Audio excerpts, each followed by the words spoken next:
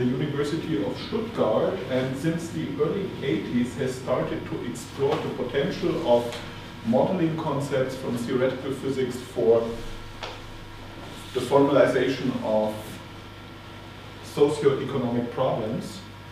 He has a very nice book that's almost self-contained and without any knowledge of physics you should be able to understand uh, the, the methodological concepts, concepts and models of quantitative sociology, the dynamics of interacting populations. I think it's again in print, so it's, it's available.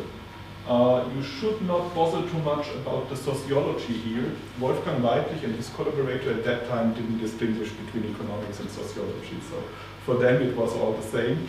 Most of it is about economic applications, actually, quite interesting economic applications, and some of it is in uh, sociology.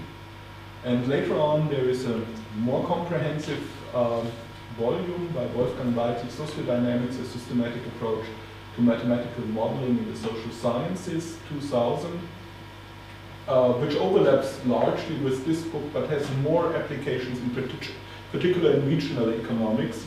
Uh, he has turned for a long time to regional economics, became quite prominent in uh, regional economics and geography uh, circles, and that was the major the major activities to which he to which he applied uh, the concepts, more or less the concepts we are going to review here. These books are, in particular the first one, amazingly easy, at least to my to my taste, reading of, of relatively advanced materials and absolutely self-contained. tougher reading is Aoki, Masanao Aoki, a very prominent economist who has given directions to economics many times in his life and from the start of the 90s tried to popularize exactly what I do today, namely uh, statistical approach to human behavior. Uh, he has three books out, out, that's the second one. There's an earlier one from, I think, 97 uh, with a similar title. Uh, this one from 2002, Modeling Aggregate Behavior and Fluctuations in Economic Stochastic Views of Interacting Agents. And there is a recent one of 2007 together with Yoshikawa, who is one of the main uh, economic policy figures in Japan, with the title Reconstructing Macroeconomics, where they put this kind of methodology to use to uh, redesign, so to say, Keynesian macroeconomics, to implement in a new way concepts like effective demand, liquidity uh, trap, and so on and so forth. So very recommended. I don't have it here, but just look for the three books of Masanao Aoki at Cambridge University Press. They are typically a bit harder to read than the ones by Weidlich, but uh, in particular the last one with Yoshikawa, Reconstructing Macroeconomics, is, is quite thought-provoking. There's also uh, special issue forthcoming of the new electronic journal that we have founded at the Kiel Institute for the World Economy um, on subjects related to this uh, reconstructing macroeconomics viewpoint, so macroeconomic applications of uh, stochastic interacting agents. I also have a chapter in the forthcoming new edition of the Handbook of Financial Economics on financial applications of stochastic interacting agents. You can find that one on my homepage because the handbook is still in print. It's not available, but uh, you can download uh, the final version from my homepage.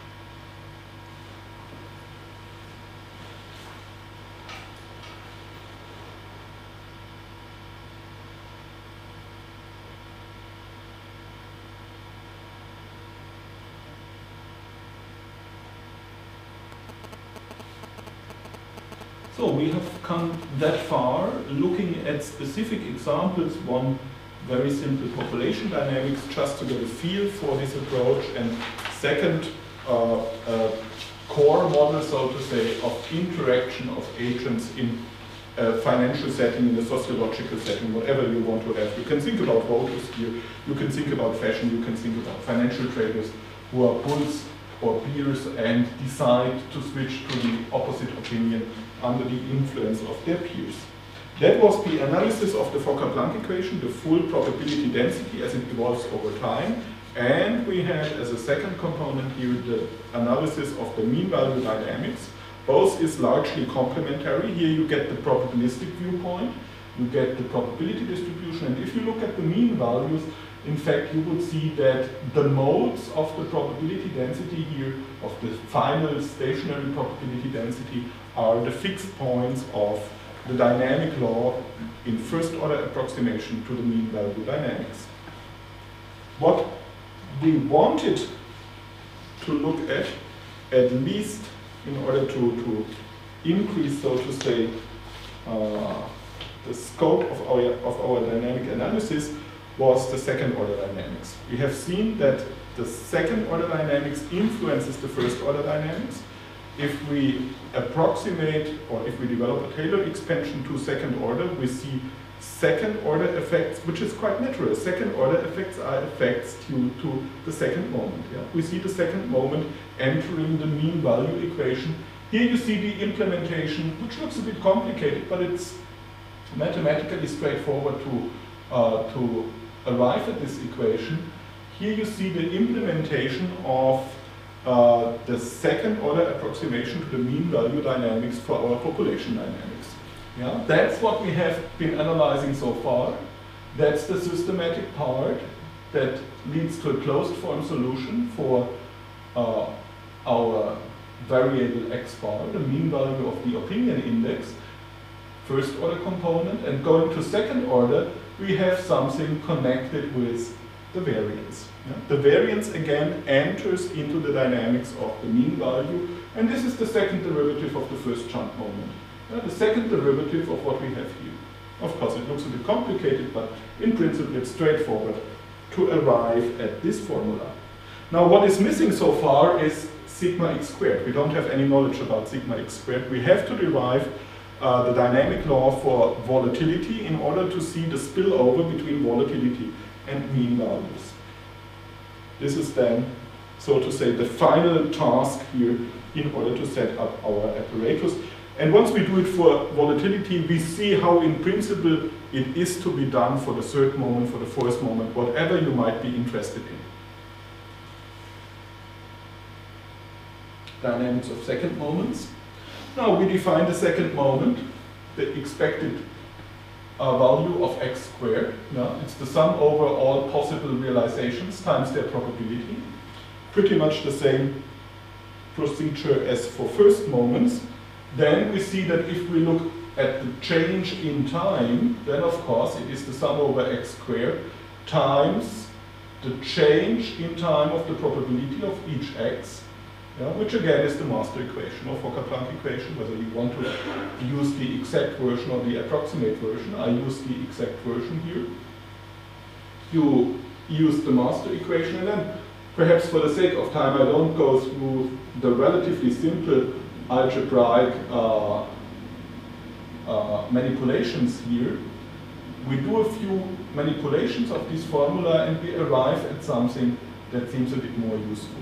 You see more, or you, you can find more explanation of what is happening here in uh, the handout that I had also sent to you. We arrive, for example, at this version here after changing for one of these components uh, the order of the summation over x and x prime and so on and so forth. And if you remember the definition of the jump moment, you see here popping up again the first jump moment, yeah, x bar minus x, the changes of x to values x prime, excuse me, x prime times the pertinent transition rates.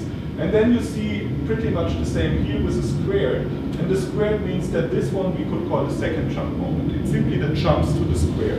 So we use the same concept as before, defining the second jump moment, and then you would need the third, the fourth, and so on jump moment for higher order moments.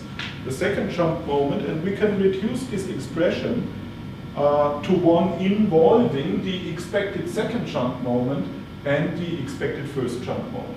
Yeah? And these are expressions that we can re relatively easily solve for. So that's a more compact expression of the dynamics of the second moment.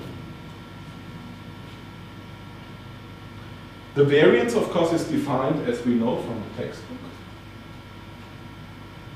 Change, and the change in time of the variance is then given as the change in time of the expected second moment minus the change in time of the square of the first moment.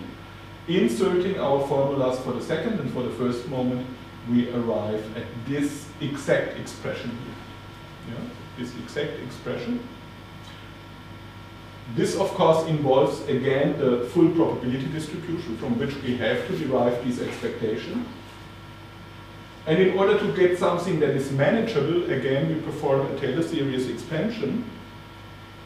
If we do that for these two terms of our variance dynamics, you know, both of them can be approximated in a Taylor series, then we see that the outcome is the following. Again, because of the expectation, there are luckily some terms that fully drop out because in expectation these Taylor terms are equal to zero. And what remains is the second jump moment evaluated at x bar, at the current expected value, plus two times the current volatility, because volatility is also changing, it's time t volatility, times the first derivative of the first jump moment evaluated at x bar. And taking this together with the equation for the first jump moment, we have a closed system of two differential equations.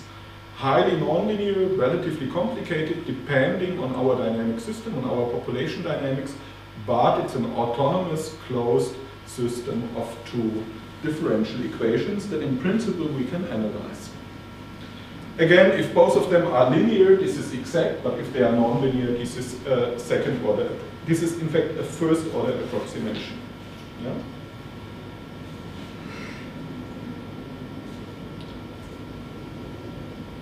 Now we apply this, we apply this to our two examples to see what additional information we can, we can squeeze out by looking at the second moment. First is the birth death process. This is the second jump moment. Yeah. The jumps are simply 1 over n, so to the square it's 1 over n squared, times the transition rate for the birth process, lambda times n, times the transition rate for the death process, mu times n over capital N times n. It's this one. and therefore the simultaneous system of two equations looks like this. That's the simultaneous determination of the mean value and the variance. So to be clear, what do we get? What do we get if we solve this system? We get the conditional expectation of the second moment, conditional on time t, initial condition on the starting value. Yeah. The expected development of the mean value and the variance. Which also means we get something, or we can easily get something like a confidence band for the mean value. We now get information about the precision of this development of the mean value. Because the variance is the dispersion, or is, is of course a measure of dispersion of realizations around these mean values.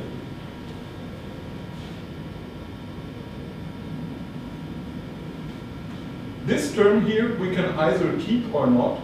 Yeah? If we keep it, then we have a second order approximation for the mean value and a first order approximation for the variance.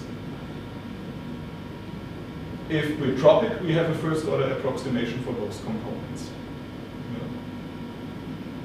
In the first, in the second case, you can solve the system recursively. You can first solve for the mean value and then for the variance. But if you keep it in the first case, you have to solve simultaneously for both the mean and the variance.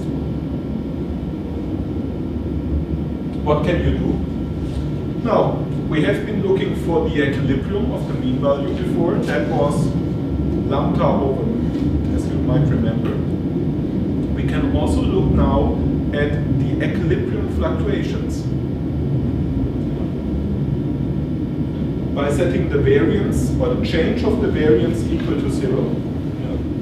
Setting the left hand side equal to zero here and inserting the equilibrium value for x bar, we would arrive at the equilibrium volatility of the system, which after some manipulation turns out to be lambda over n times mu. So we get a very simple formula. And we see in this system, obviously the n dependence of volatility, the law of large numbers. The higher the population, or the higher the, the carrying capacity, in fact, of the environment in this example, the lower the fluctuations. You, know, you see a law of large numbers here. Fluctuations die out if the carrying capacity goes to infinity.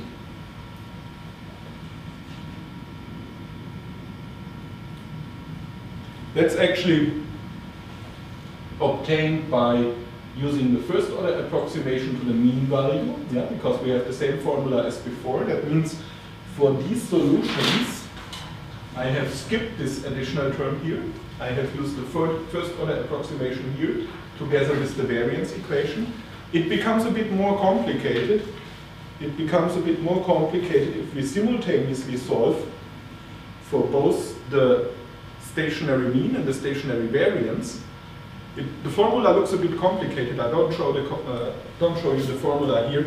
I just give you an indication of the differences. This is an example, the one we had before. This, oh, is this visible? Yeah, roughly visible. This is the mean value to second order. Yeah, to first order, it's always 0.5. It's always 0.5 because we don't have the interaction with the variance, or we simply skip the interaction with the variance. That's what we get from this formula for first order approximation.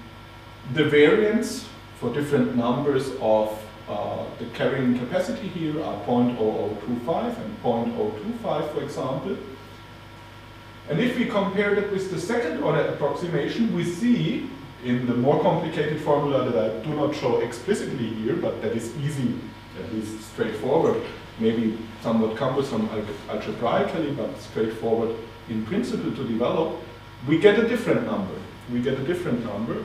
The number is relatively close to 0.5 if n is high, but you see that the difference might be sizable if n is relatively small. That actually shows uh, the accuracy of the approximation, which depends on the number of agents, which depends on the number of agents in the system.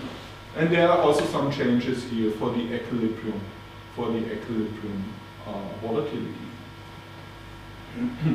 that it is smaller than 0.5 is clear immediately because we have a negative effect here of volatility. So the true equilibrium, so to say, is smaller than 0.5, what we get from the first order approximation. The second order approximation, in fact, is exact.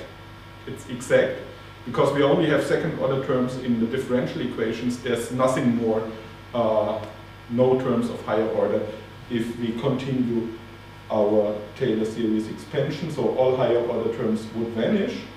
And therefore, these are the exact numbers in this simple example for the mean value of the population. Why is it smaller than 0.5? Question for the students. Intuitively, why is it smaller than 0.5 with these uh, numbers that the birth rate is 1 and the death rate is 2?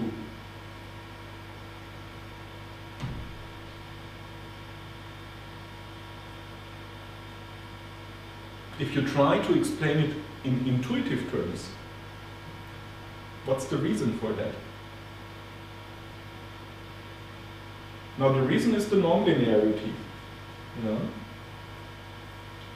Because of the increase of the death rate with the population, you have over proportionally many cases of death if the random fluctuations drive you beyond 0.5, say the virtual equilibrium.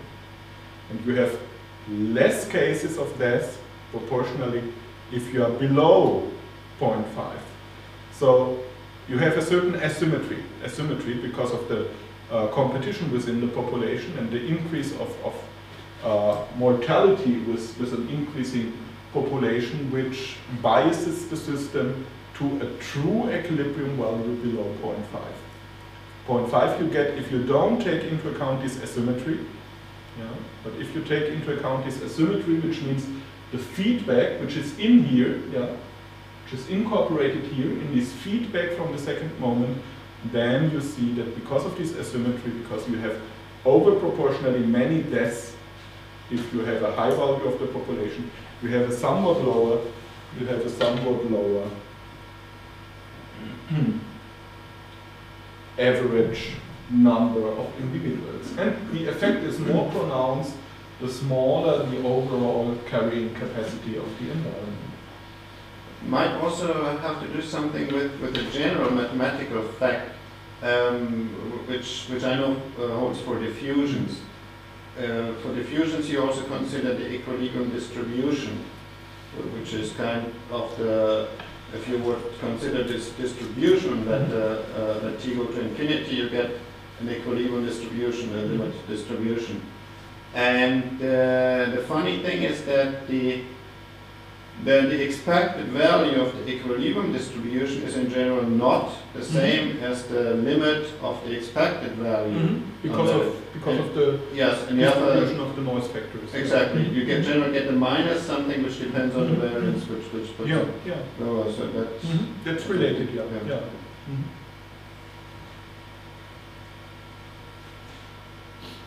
If you have a diffusion approximation of this one, which in fact you would have because second order is exact in this case, you would see the same effect. Yeah, that's the effect seen from your point of view and from the point of view of this apparatus, it is it pops up in, in the negative feedback from volatility. So then we, we in fact have completely solved this, this model. You can also use the variance in order to uh, in order to compute something like 95% uh, confidence intervals, for example, around around uh, the mean value. And you would see, if you perform simulations, that they nicely obey these 95% or whatsoever uh, confidence intervals.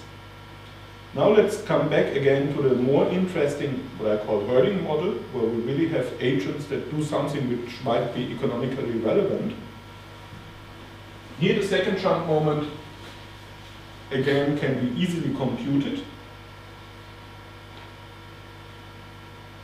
If for the moment I set alpha O equal to zero to not have too many parameters here and alpha one I simply denote by alpha, I get this equation for the dynamics of the variance of x. Yeah. Here again the mean value or the second jump moment and here the first derivative of the first jump moment. That's all straightforward, but it looks a bit complicated.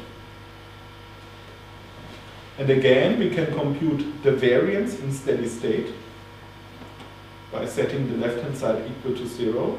And we come up with this somewhat unlucky expression here. But this expression, in fact, can be simplified by inserting uh, the expressions you get for the equilibrium of the first moment.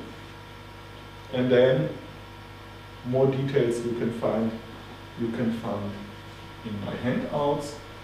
If the equilibrium is unimodal, yeah, which is the case if alpha is below 1, alpha equal to 1 was the threshold between unimodality and bimodality, if it is unimodal and using x equal to 0 as the solution for the unimodal uh, case, this simplifies enormously to 1 over 2n times 1 minus alpha. And in the case of bimodality, where we have a positive and a negative majority, which are symmetric in this case, it simplifies to this expression here. Just by inserting uh, the equilibrium condition for the mean value. So what can we extract from that? Again, we see the n dependency. We can, as we discussed this morning, get rid of the n dependency. It's actually an important problem in financial economics, one that has been totally neglected in, in traditional uh, financial economics, that in finance we don't have a law of large numbers. We have large numbers of traders, but we don't see any convergence to the limiting distribution, the normal distribution or Lévy or what it might be, at least not for daily data. Also daily data are already the aggregate of a huge number of intradaily data and we aggregate over thousands, maybe millions of, of traders. We don't see anything like the law of large numbers. And if we try to approach that with an agent-based model, that also means that we have to get rid here of this M dependency. So there have to be some long-range effects among individuals, but this is uh, advanced topic to which I do not come here.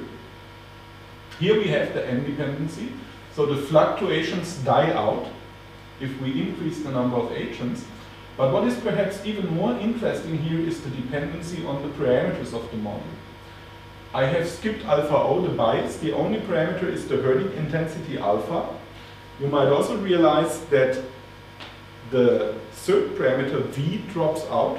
V was the frequency of re-evaluation of opinions by the agents. That only governs the speed of evolution of the system. It's not relevant for the stationary states.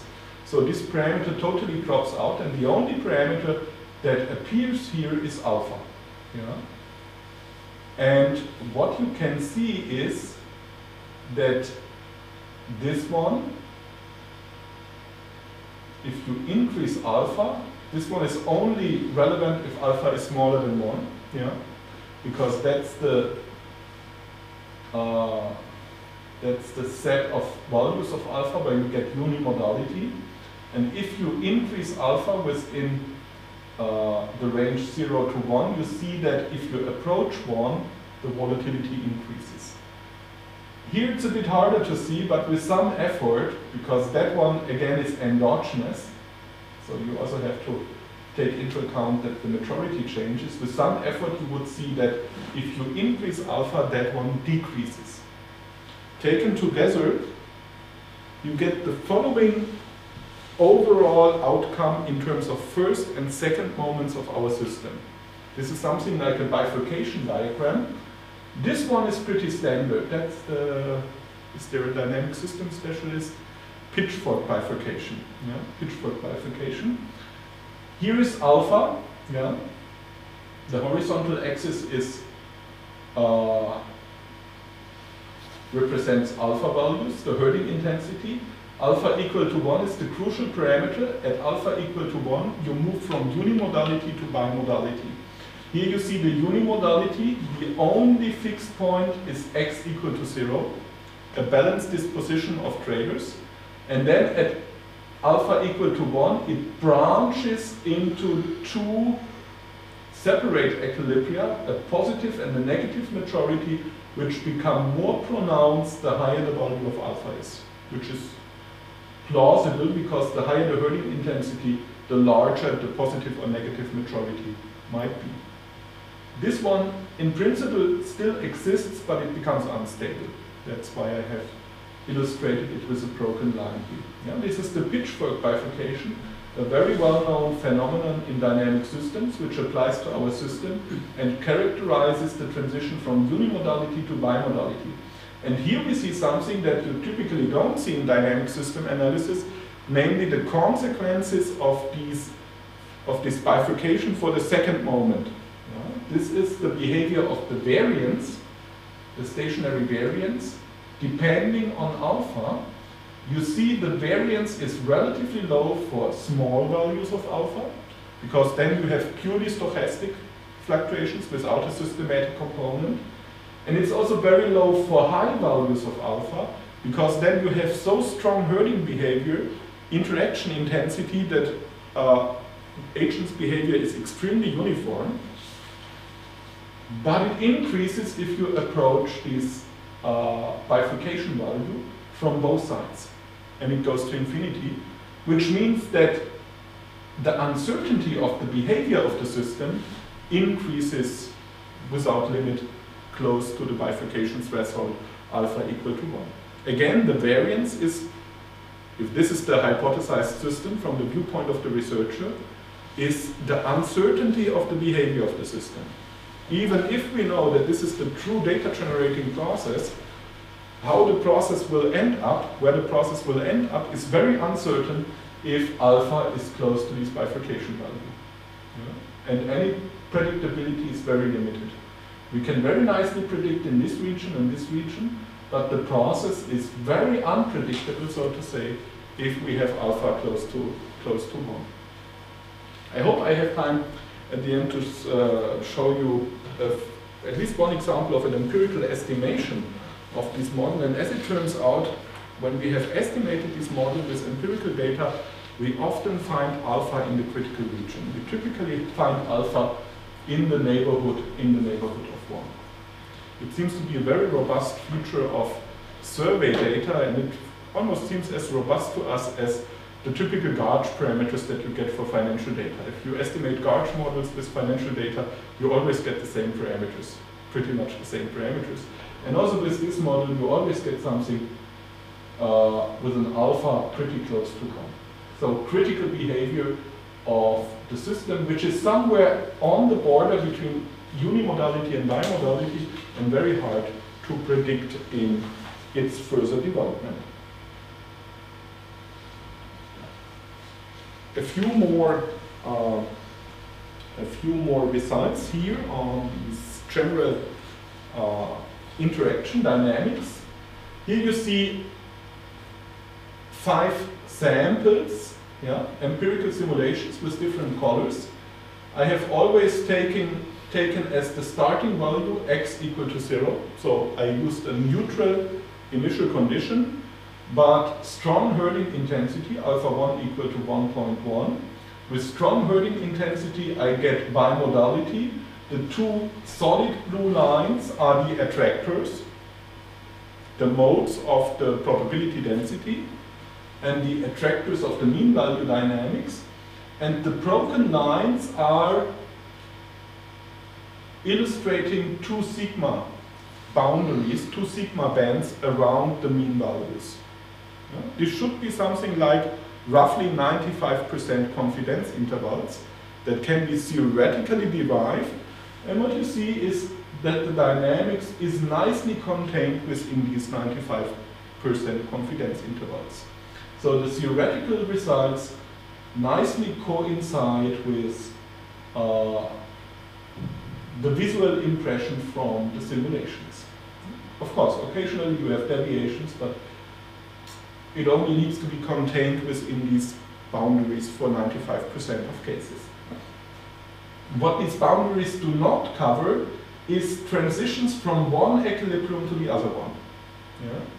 Because this is in a sense a local analysis. The local mean value and the local volatility. But it does not cover the transition that occasionally happens from one equilibrium to the other. The switch from a dominantly optimistic uh, perception to a dominantly pessimistic perception, which happens here, for example. So it's the local invariant distribution, so to say, that we get in this way. It covers only fluctuations within the basin of attraction of one of these fixed points. What you can also do is to look at the transient dynamics.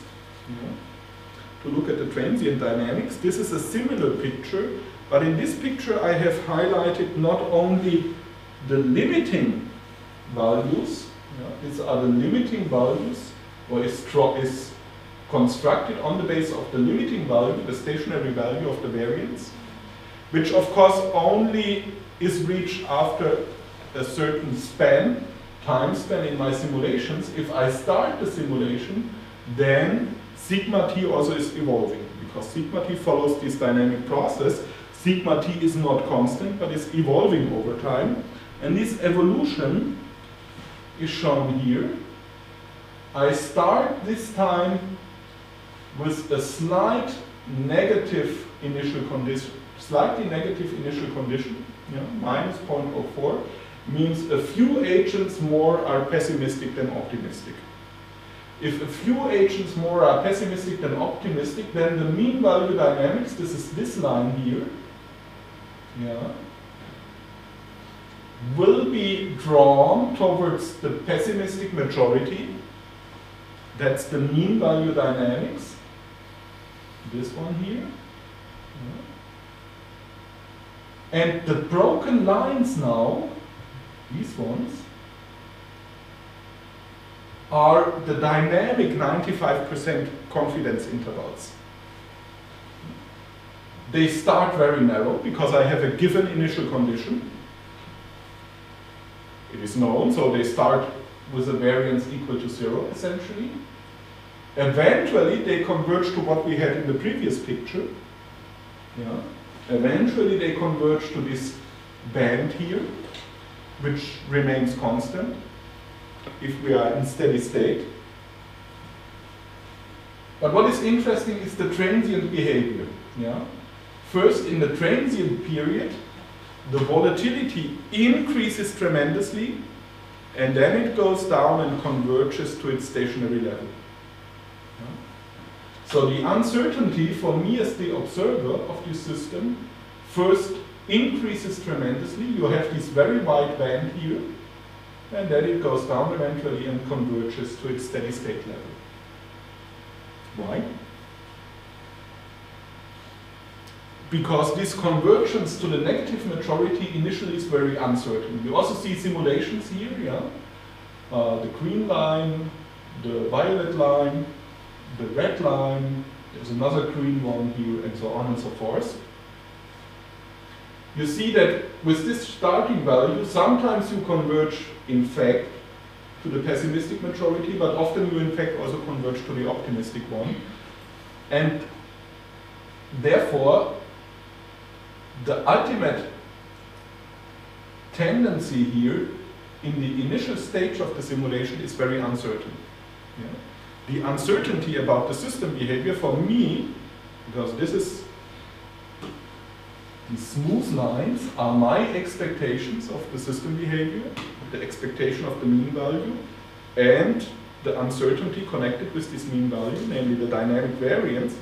My uncertainty about the system behavior is very high because I'm very close to the benchmark between the basin of attraction of the optimistic and the pessimistic majority very easily via random disturbances I could move upward instead of downward. I expect on average a downward movement, but the certainty associated with that uh, is relatively small.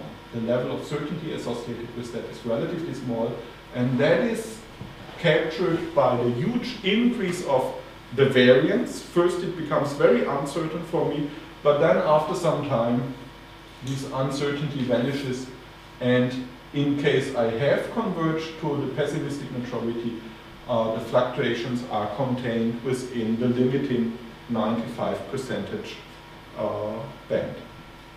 So you can capture both transient dynamics of the system behavior and the limiting dynamics, and you see after 10 or 15 periods, depending on my parameters, you are already very close to the limiting behavior.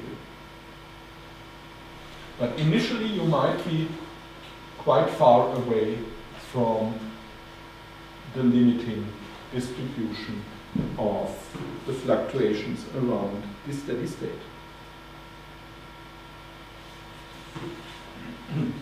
and the interpretation is, in fact, the uncertainty about system behavior from the viewpoint of somebody who knows that this is the data generating process knows the initial conditions and wants to make a forecast of the system for the next periods. The solid line here is my forecast of the most probable state of the system at any point in time. And the broken lines here is my uncertainty of this mean value forecast. Uncertainty first increases and then decreases, so it's non-monotonic, which is which is quite quite interesting. So that should now be integrated into a financial market model. That will be a component for interactions of agents within a financial market model. And I identify the plus and the minus group as bullish and bearish speculators. The transition probabilities would then account for a possible bias, if there is a bias towards bullishness or bearishness. Herding behavior, that's just what we have seen here. And we also allow for a reinforcement of herding by the momentum of prices, the price changes. Which leads to this extended formula here, the same as before, but I have added here a new component where we have feedback from P, P is prices, and P prime is the change in time of price, momentum, from momentum on to transition probabilities or transition rates. So traders are not influenced, not influenced only by the behavior of their peers, which is still there, but this influence is reinforced or weakened by the momentum they see in the market, which is quite plausible. If this is positive and if momentum is positive, then they have more reason to believe in, uh, in the accuracy of a bullish prediction. Yeah. And then the pressure for moving from the minus to the plus group, to the group of bulls, becomes even higher. But if this is negative, then it might neutralize the influence of other traders, and therefore we might end up with a sum which is equal to or relatively close to zero. So no dominating effect, and vice versa for the transition probability from plus to minus.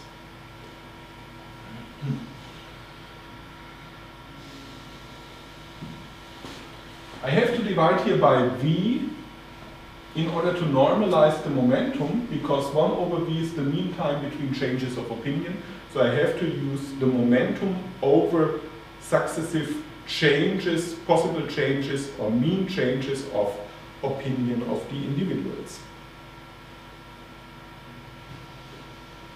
So then I get something which simply compared to what we have done previously contains this new element change of the sentiment index is given by this formula in which I have simply added to what we had before the influence of momentum. And what I also add is price dynamics in order to have something that could be used here in order to derive momentum from the market operations.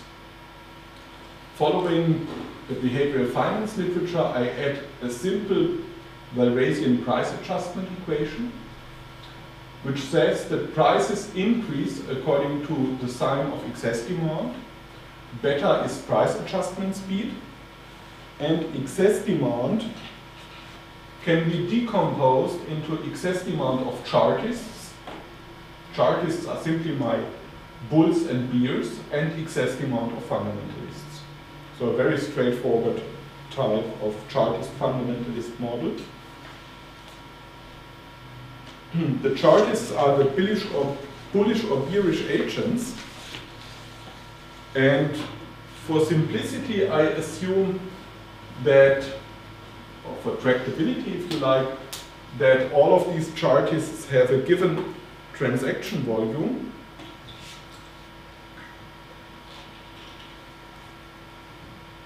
which is TC, transaction volume TC.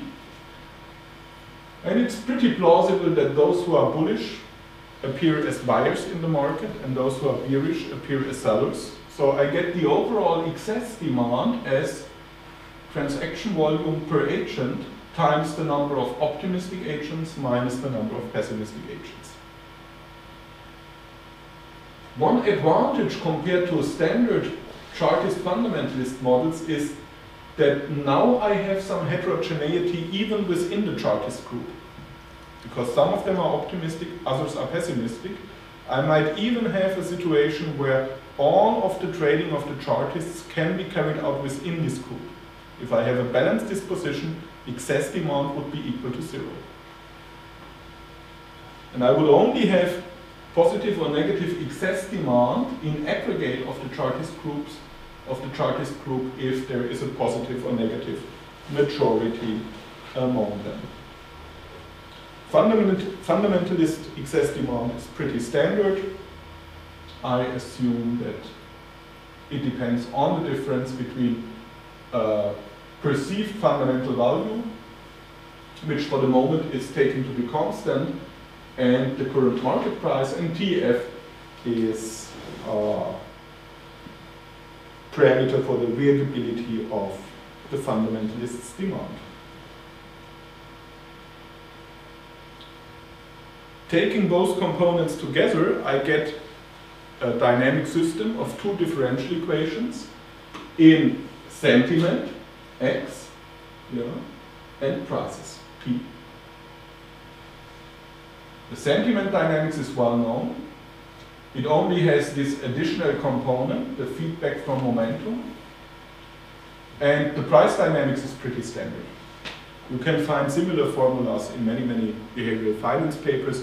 It's also what you find in the microstructure literature. If you look at uh, and Milgrom, for example, or Kyle, uh, where you have market maker, market maker behavior being analyzed on the base of uh, Bayesian information transmission, then you find that they end up essentially with the same kind of adjustment equation. So it's pretty much the industry standard in financial economics for rough and ready description of price dynamics. And what we want to analyze here is then the interaction between endogenous sentiment and price dynamics. And in fact, for many markets, both of them are measurable. So you can estimate, you can estimate this model. It's something I've just started to do. Uh, since you have sentiment data of the same format for the US stock market, I don't know about uh, UK, probably you have some sentiment measures somewhere uh, collected by some uh, financial institutions. You have certainly these sentiment measures for Germany and for other countries as well. Let's just look for a dynamic equilibrium first, where you don't have any change anymore. This is defined by the condition we already encountered before for the sentiment index and the price in equilibrium is this one. The price is equal to the fundamental value if sentiment is balanced, if x is equal to zero. And we know x is equal to zero from that equation if we have weak interaction only. However, x is positive or negative in equilibrium if we have strong interaction, and then of course the price is above or below the fundamental value. So if we have an optimistic or pessimistic majority, we get overvaluation or undervaluation of the asset. And how does this uh, relate to general arbitrage? Theory. If, if the, the, the equilibrium price is higher than the fundamental price, does, does this cause any trouble with, Um, here you, maybe we come back to that, because it's, it's a stochastic system. I mean, uh, the question is how much of what we can get out uh, theoretically if we know the system you could squeeze out from observations of the system if you would not know the data generating process. We should mm -hmm. come to, back to that later on. That's actually one of, one of the questions we have pursued. Here it looks very simple, yeah, and it looks very exploitable in fact. Um, what we find is a unique steady state, if alpha is small, alpha 1 is below 1, together with prices equal to the fundamental value, and multiple steady states bubble equilibria because you have overvaluation or undervaluation otherwise. Here are some simulations that already have provide something like a partial answer to your question, but better answers come in a moment. Um, this is the case with the fundamental equilibrium. This is actually a plot in x and p uh, space. Here you have isoclines for uh, for those scenarios where you don't have a change of x anymore and you don't have a change of p anymore, but this is, this is not very important. Here you see a plot of uh, the coordinates that you get in the simulation because it's not, uh, yeah, you don't see so much, but it's fluctuating here around 0 and 10, which is my fundamental value. Here you see the price fluctuations around the fundamental value, and here you see the fluctuations of the index around uh, a balanced disposition. That's pretty stochastic and it should be stochastic because you have weak interaction. Here you have bubble equilibria, positive or negative. Yeah, these are these two points. You see sometimes fluctuations around the positive and around the negative equilibrium, but you also see a movement from the positive to the negative and vice versa. And if you have a limited simulation, you see that you first have a phase of undervaluation here and then comes a phase of overvaluation. 10 is the uh, fundamental value, whereas in terms of sentiment, it first becomes strongly negative and then uh, switches to strongly positive. It switches between these two modes. That looks exploitable still. Uh, another possibility that emerges is that of persistent oscillations between undervaluation and overvaluation. This is this case, so the movement is like this, but in a stochastic fashion. And you see you have clearly identifiable cycles both in prices, also of course blurred by the stochasticity and in the sentiment index. That should be exploitable by somebody who knows a bit about dynamic systems. Uh, probably I skipped that. Uh, you can get uh, stability conditions on the base of uh, analysis of the eigenvalues of the dynamic system and so on and so forth. And you would find that in terms of the previous plot, yeah, this is again our pitchfork bifurcation, there's now a new region in which you get cyclic behavior. And this region includes the bifurcation point. So you have stable unimodal or bimodal behavior here and here, but in between now there is no equilibrium, no stable equilibrium anymore, but there is a cyclic uh, dynamics, but just leave it like that. Beyond mean values, this was only the mean value dynamics, but again, because it was based on the analysis of the 2 by 2 dynamic system for the mean of x and the mean of p. Again, you can analyze variances here.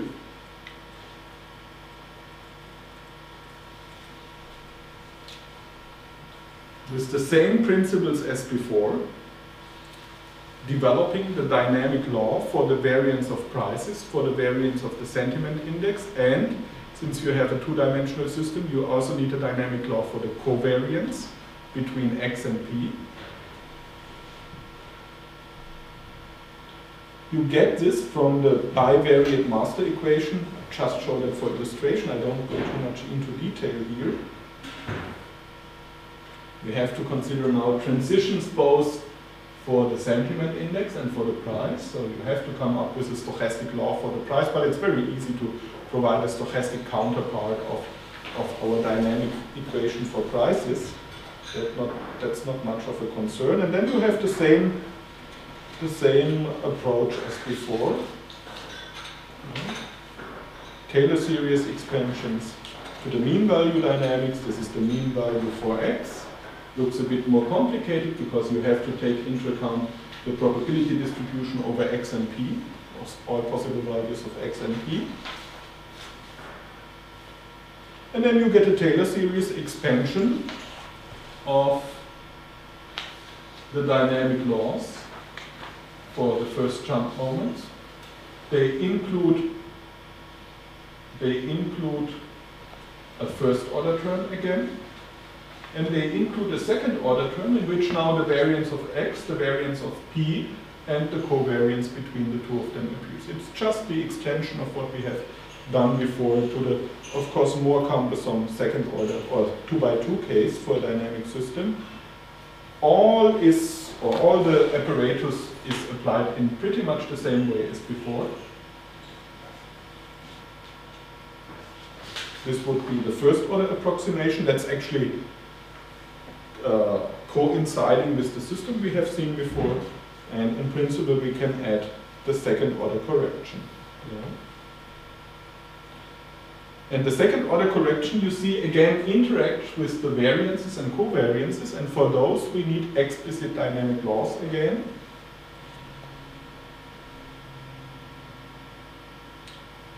I skipped this one. And for just for the, the sake of illustration, the same principle as before. I define the second moments and the cross moment here. The time change then involves the time change of the probability distribution.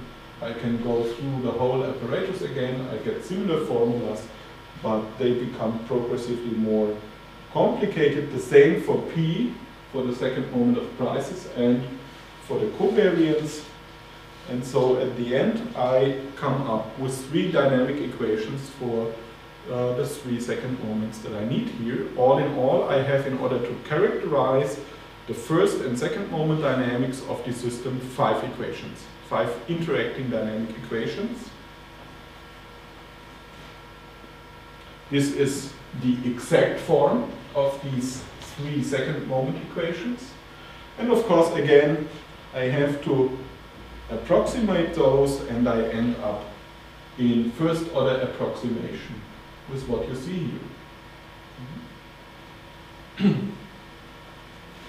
That's of course quite complicated and to do that for a particular system is almost enough stuff, at least for one chapter of a PhD thesis.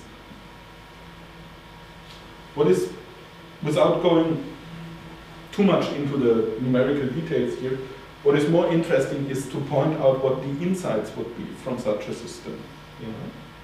What you see immediately, and in fact that has been pointed out on a general level by James Ramsey in the paper of 1996 already, what you see is again, and I have emphasized that for the simpler system before, the interaction between mean, mean value between mean value and variance. Yeah? Again, you have an avenue towards, uh, towards interaction between means because the mean appears here, x bar, p bar, and the variance. But what is more, you see autoregressive behavior of the variances. The time change of the variance of prices, for example, includes on the right-hand side as one of its determinants the variance of prices itself. So you get an avenue that automatically leads you towards ARCH effects.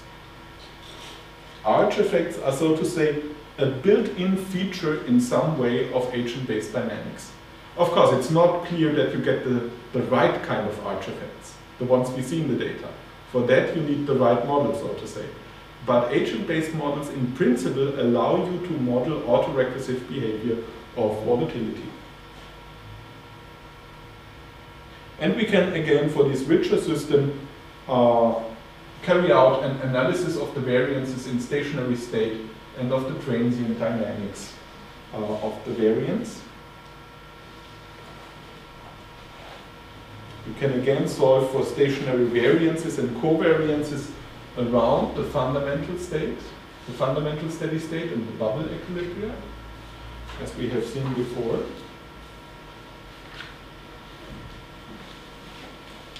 This is one result that you get if you really dig into this exercise for the stationary variance. Pretty much the same picture that I showed before, but now taking into account that uh, we also have prices, so this is the variance of prices of the system in the stationary distribution depending on the parameter alpha 1 we see we have the same type of behavior except for the fact that we do not have a stationary variance in the cyclical regime. In the middle part, we don't get we don't get a stationary solution, so this is simply empty. And the variance increases to infinity if we approach the boundary of these empty regions, so to say, this cyclic region from the left and to the right. So what we see here is that even for a value of alpha 1 below 1, we enter a situation where the dynamics of the system or the behavior of the system becomes very uncertain. The variance goes to infinity, and the same happens for this value above 1, where we move from the cyclical regime to uh, bubble equilibria with a majority of optimistic or pessimistic individuals and overvaluation or undervaluation. So I should allow you